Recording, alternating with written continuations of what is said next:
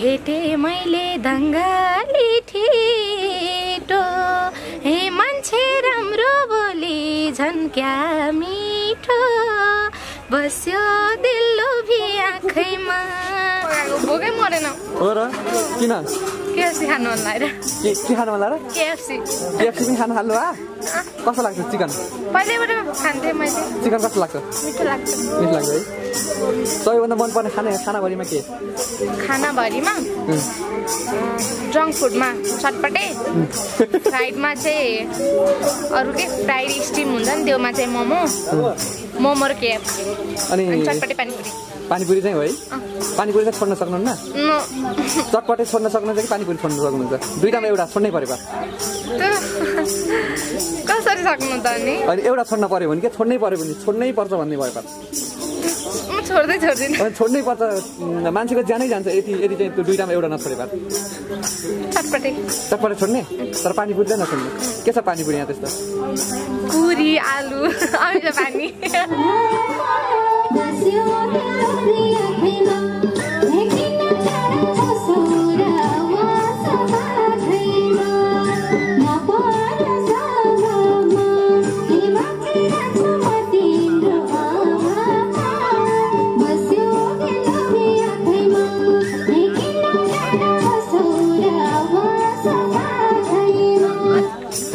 मनपर्ने कारण चाहिँ के पानीपुरी धेरै हामीले पिरो ट्वाक्का। अमिलो पिरो टक्का खुब खानु चाहिँ अनि अमिलो अमिलो पिरो होइन त? भनेपछि चटपटे र पानीपुरीमा एउटा छोड्न परे पार। चटपटे। अनि त्यस पछाडि चाहिँ अरू अ, चटपटे पानीपुरी भन्दा अलावा अरू खाना चाहिँ कुन कुन मन पर्दैन अरे खाना मन पर्ने मन नप मन पर्ने अँ। मोमो र केएफसी। मोमो र केएफसी। अनि मोमो र केएफसी मध्येमा फेरि एउटा छोड्न पऱ्यो भने चाहिँ कुन छोड्ने? नभन्नु न। भन्दैन भने जस्तै मान्छेको ज्यानै जान्छ कि एउटा छोड्नै पर्छ। मोमो। मोमो छोड्ने तर केएफसी नछोड्ने। अँ।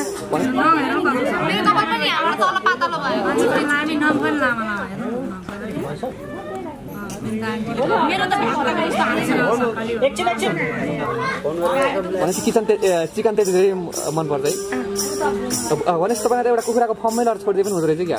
होइन। केएफसीको केएफसीको उसमा। रेस्टुरेन्टमा केएफसी मात्रै पाउने रेस्टुरेन्टमा केएफसीको पसलमा? ए ल ठिक छ ठिक छ ठिक छ। अनि अनि गुलियोमा चाहिँ के मनपर्छ सबैभन्दा बढी। गुलियोमा? गुलियो मन पर्दैन गुलियोका खाना खानेकुराहरू मध्येमा। कसार कसा? बिहामा होइन त? त्यो गुलियो हुन्छ नि त।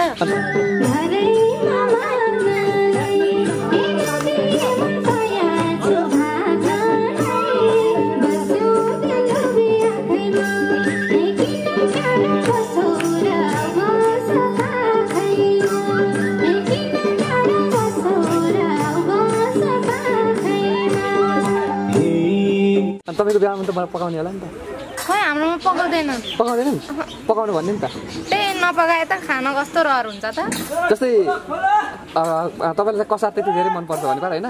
तपाईँ मानव बिए अ, बिए गर्दाखेरि चाहिँ जग्गामा बसिराख्नु भएको छ। अगाडि टक्क कसार राख्दाखेरि पनि टिपेर खाम्ला जस्तो हुने है राखेपछि कहाँ नखानु त। जस्तै जग्गामा राख्छ नि त कसार त होइन? जग्गामा राख्दै गर्दाखेरि तपाईँले टिपेर खाइदिनुहुन्थ्यो है। बिहे हुँदाखेरि पनि त्यस्तो।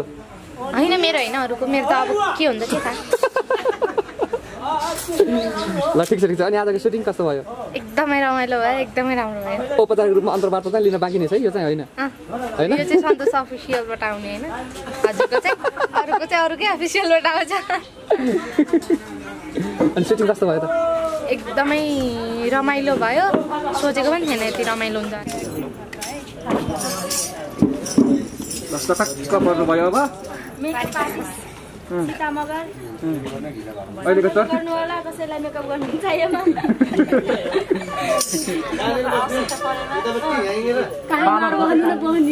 पार्लर सम्बन्धी जेसुकै काम परे पनि गरिदिनुहुन्छ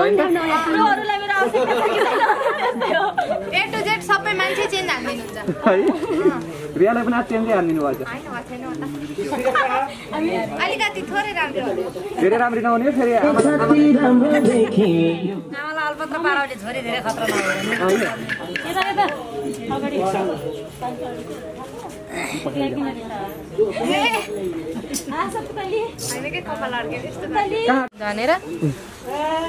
गीत गाइदिनु न त्यही गीत। त्यही गीत? भेटे मैले दङ्गाली ठिटो। हे मान्छे राम्रो बोली झन् क्या मिठो। बस्यो दिल्लो भी आँखैमा किन टाढा बसौ र आउ बस काखैमा हे किन टाढा बसौ र आउ बस काखैमा अँ, भनेपछि रिया खड्काले चाहिँ बङ्गाली ठिटो भनेपछि दाङतिरका ठिटोहरूलाई मन परायो जस्तो अर्जुन सापकोटाजीले गाउनु भएको छ यो गीत। अर्जुन सापकोटाले मन पराउनु भयो होइन होइन। उहाँ चाहिँ मेरो सधैँभरि फेभरेट सिङ्गर हुनु नि एकदमै ठुलो सपना थियो भेट्ने। यो गीत गाउँदा भेटियो। आज नि भेट्छु कि भन्ने सोच्थ्यो तर भेटिनँ। चाहिँ सुरुमा चाहिँ के भन्नुहुन्थ्यो? टिकटक गनाउँथे हजुर। टिकटक गनाउँथे किन टिकटकमा चाहिँ यति धेरै फ्यान फलोवर्सहरू पनि बिस्तारै बिस्तारै कति धेरै बढिरहेको छ नि त? कस्तो लाग्दो रहेछ? ए म त भुइँमा खुट्टै छैन। भुइँमा खुट्टा छैन? खुट्टा त भुइँमै छ नि त। होइन।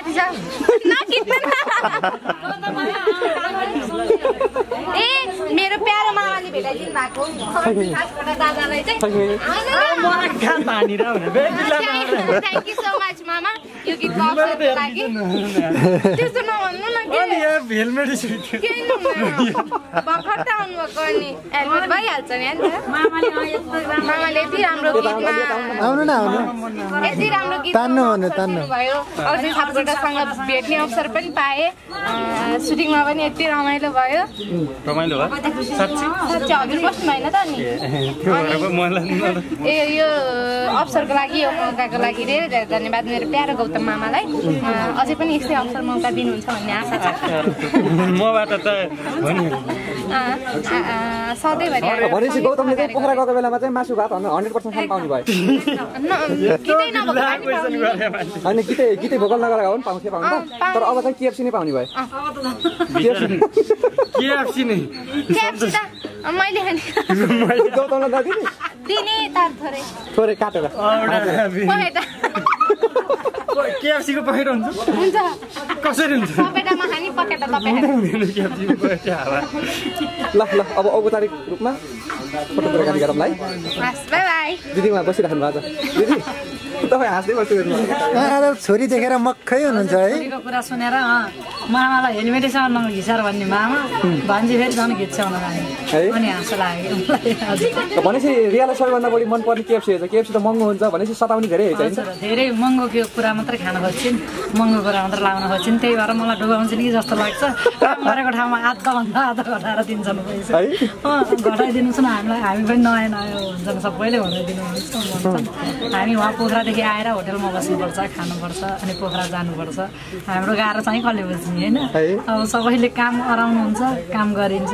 अनि त्यहाँबाट कति हो के हो जतिको तति नभन्नुहोस् है यति लिइदिनुहोस् है भन्नुहुन्छ हस् भन्नु पऱ्यो हात थाप्नु पऱ्यो। छोरी राम्रो मात्रै लाउने मिठो मात्रै खाने अब नकाल मात्रै पार्ने भन्छन् छोरी। पैसा बाँच्ने? भएन। हजुरले सम्झाउँदा चाहिँ के भन्नुहुन्छ? त्यही त नि अब कमाएको पैसा जमाउन दिने होइन अब उनको इच्छा पुरा पनि गर्नु पऱ्यो फेरि यति सानो बच्चालाई मरिमठी लाएर होइन घोटाएर काम गराएको छु फेरि उनलाई खान मन लागेको कुरा खान नदिएर। पढाइमा पनि पढाइमा पनि हेर्नु न कति राम्रो ठहर भएको यसपालि है। त्यति धेरै हेर्नु न कति जुन जुन समयमा चर्चामा आउने बेलामा के? त्यति समयसम्म एकैचोटि भइदियो। लगभग एक महिना जति स्कुल हाट्दाखेरि पनि हेर्नु त ठहर भइदिएको है।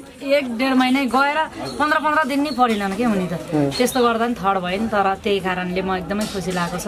अनि यो क्षेत्रमा आएर पनि यति धेरै सफलता पाउलिन् यति धेरै यति सम्पूर्ण दर्शक महानुभावहरूदेखि लिएर अब सबै सबैको यत्रो माया पाउलिन् साथ पाउलिन् यसरी मेरो नानीलाई यत्रो अफर आउला सबै ठाउँमा गाउनमा नाच्नमा अफर आउला भन्ने पनि सोचेको थिइनँ मैले होइन? पहिला अर्काको मुखबाट सुन्दा मात्रै त उहाँहरूलाई कस्तो गर्ने के गर्ने भन्ने लाग्थ्यो होला होइन? उहाँहरूले देखिसकेपछि आफ्नो अगाडि परेर देखिसकेपछि र उनको प्रतिभा कला कला देखिसकेपछि एकचोटिमै मन पराउनु हुने भयो क्या?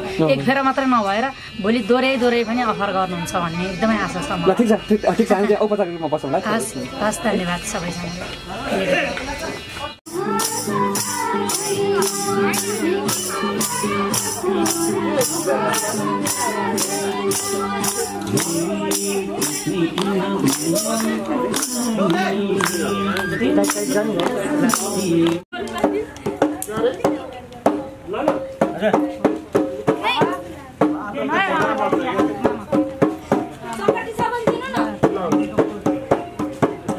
यो खै त्यो